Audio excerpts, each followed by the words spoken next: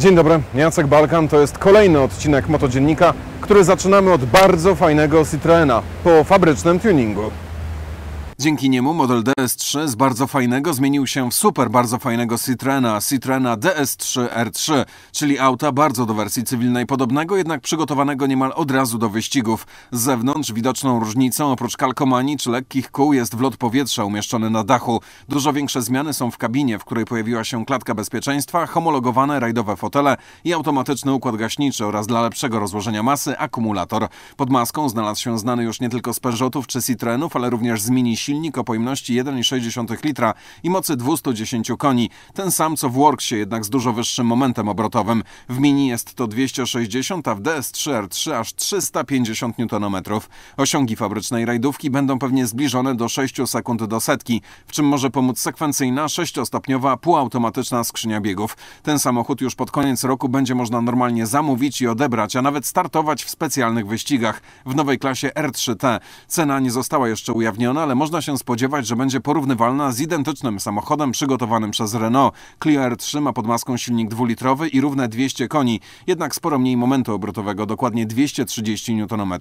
Clio w podstawowej wersji kosztuje około 32 tysięcy euro, więc można się spodziewać, że cena DS3 nie będzie sporo wyższa. O kieszenie klientów ma zamiar zadbać również kultowa, choć relatywnie młoda włoska firma produkująca sportowe monstra Pagani. Twórcy Zondy konstruują około 40 wycenianych na prawie milion euro aut rocznie i chyba ta małoseryjna produkcja powoli im się nudzi, gdyż od 2015 roku w sprzedaży ma się znaleźć coś mniejszego i bardziej dostępnego. Aktualnie sprzedawane auta napędzane są 6-litrowym, podwójnie doładowanym 12-cylindrowym silnikiem ze stajni AMG, co w znaczącym stopniu wpływa na ostateczną cenę. Ale już niedługo w ofercie znajdzie się auto z silnikiem V8. Będzie kosztować połowę, czyli około pół miliona euro, dzięki czemu sprzedaż i produkcja ma się w ciągu najbliższych pięciu lat zwiększyć nawet dziesięciokrotnie do 500 sztuk rocznie. Na koniec jeszcze jedna ciekawostka ze świata ostentacyjnego luksusu. Firma Mercedes ujawniła właśnie zdjęcia i szczegółową specyfikację Eski w wersji dwudrzwiowej, czyli klasy CL. Największą niespodzianką jest to, że Niemcy zostali przy starej nomenklaturze. Spodziewano się likwidacji dwóch liter i zastąpienia ich, tak jak stało się ze klasą i CLK, nowym symbolem. W tym wypadku miała to być S-klasa Coupé. W samochodzie z zewnątrz niewiele się zmieniło, przynajmniej na pierwszy rzut oka. Pojawiły się diody do jazdy dziennej, inne zderzaki, grill i światła, ale zmieniona jest też maska oraz to, co pod nią, czyli to, co najważniejsze. 5,5-litrowy silnik V8 mający 388 koni i zużywający po mieście 25 litrów paliwa na setkę został zastąpiony motorem nieco mniejszym o pojemności 4,7 litra, ale dzięki dwóm turbinom mocniejszym. Auto ma 430 koni i jest to kilkanaście procent bardziej oszczędne. Topowa odmiana CL600 kosztująca 740 tysięcy złotych i mająca 517 koni, silnik V12 pozostaje bez zmian, a najmocniejsza AMG 8-cylindrowa 63 i 12-cylindrowa 65 pojawią się za kilka miesięcy. W Polsce za cel 500 trzeba zapłacić ponad pół miliona złotych. Nowa wersja na pewno nie będzie tańsza, ale na pocieszenie na pewno nie będzie też dużo droższa. A skoro rozmawiamy o potężnych silnikach, to te montuje się nie tylko w samochodach, ale również w motocyklach.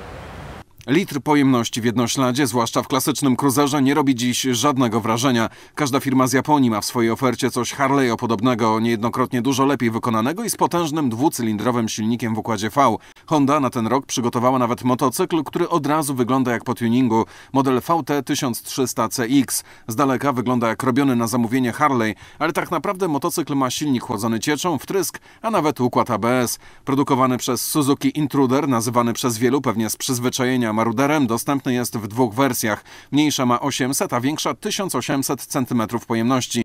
114 koni i 155 Nm momentu obrotowego, dzięki czemu spod świateł można zawstydzić nie tylko dowolnego kierowcę auta osobowego, ale również kolegów na motocyklach typowo sportowych. Cruiser Yamaha XV ma 1900 cm pojemności, ale japońskim rekordzistą i tak jest Kawasaki VN2000. Ten motor ma ponad 2 litry pojemności i 166 Nm, ale tylko 94 konie. Co ciekawe, japońskie podróbki Harley'a w dziedzinie pojemności silnika już dawno go przegoniły. Największe z seryjnie oferowanych Harry ma zaledwie litr i 800 cm3 pojemności. Harley ma też mniejszy moment, niższą moc, ale za to przynajmniej dwa razy wyższą cenę.